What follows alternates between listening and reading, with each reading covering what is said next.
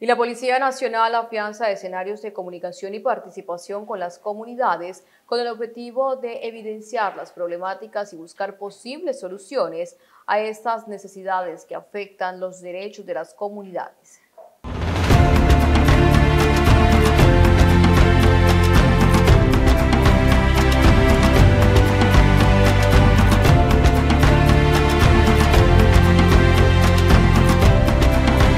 Nos encontramos hoy con nuestro programa de todos los sábados, el comandante en el barrio, donde la Policía Nacional trae todas las capacidades institucionales para atender a todos los ciudadanos. Hoy desde el barrio obrero y por supuesto con los líderes de este barrio. En este momento me encuentro aquí con la señora Grumilda.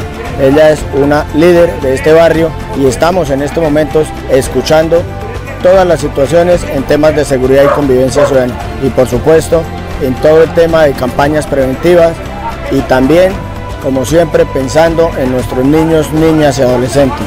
Entonces hoy desde el barrio obrero la Policía Nacional, el modelo nacional de vigilancia por cuadrantes está siempre apoyando y ahí están nuestros equipos de prevención, nuestros equipos de infancia y adolescencia. Estamos con nuestro comandante operativo, estamos con nuestro comandante de estación y por supuesto con las personas más importantes, nuestros ciudadanos desde el barrio obrero. Señora Grumilda, cuéntenos.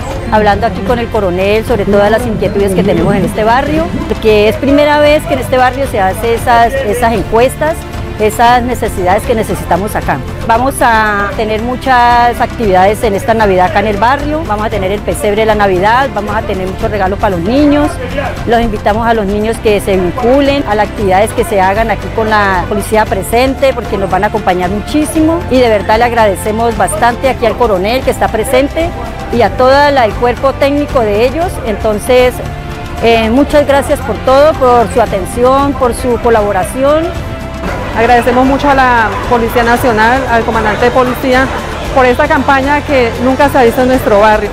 Llegar la institucionalidad a un barrio como este, la verdad es muy significativo para nosotros porque hemos sido tan olvidados que acá realmente pasan muchas cosas y también por desconocimiento de los mismos habitantes y nunca sabe la institución. Eh, darle muchos agradecimientos al Gaula Policía, al grupo de carabineros, a los de tránsito, a los de la Policía de Infancia, los policías ambientales.